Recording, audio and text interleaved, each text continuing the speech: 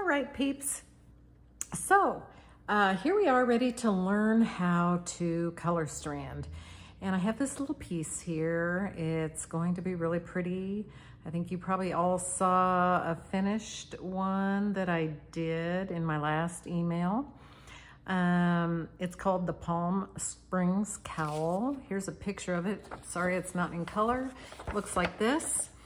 Um, and you can see it, this one is a light background with a darker contrast in between. Um, and so um, typically color stranding is worked using charts and charts that kind of map out the patterns that you're gonna be working with. And so this uh, pattern is no exception. Here's the color chart for the Palm Springs cowl. You can see they have it in two variations. Um, I showed you the picture with the light background and the dark contrast. And here's a picture with a dark background and a light contrast, which is actually what I'm working with here. You can see I have the dark background blue, with the lighter contrast. And I think you'll enjoy seeing this. It's actually not a white.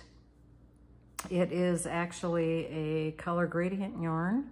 Can't remember the name of it right now, but I'll let you know. Um, I think it's called Color Wheel or something like that. Anyway, um, it goes from like a light green to a darker green to a really dark gr green to a blue, and so forth.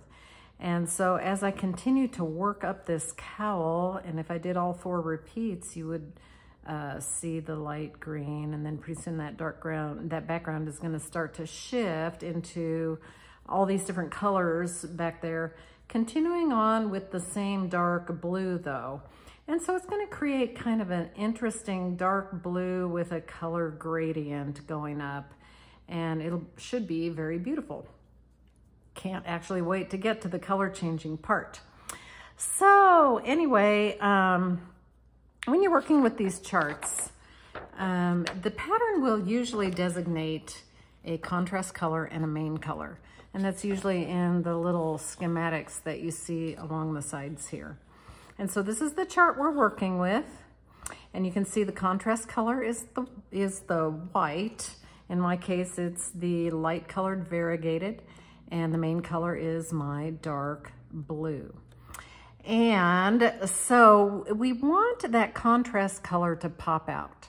So typically what you'll see in patterns is uh, some of them talk about color dominance. And color dominance simply means the color that you want to pop out the most.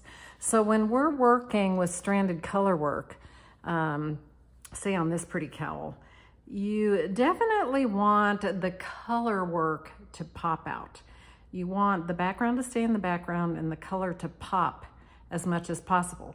You could do it the other way, but you'd have a much more subtle color pattern. They are also very beautiful, and if that's what you want, then you just treat your contrast color as the um, background and your main color as the dominant. So, but anyway, for the purposes of the pattern we're working on here, we are going to, uh, we want that contrast to pop out. There's a lot of blue in this cowl. We want that, that uh, contrast variegated to pop out. So we're gonna treat it as the dominant color.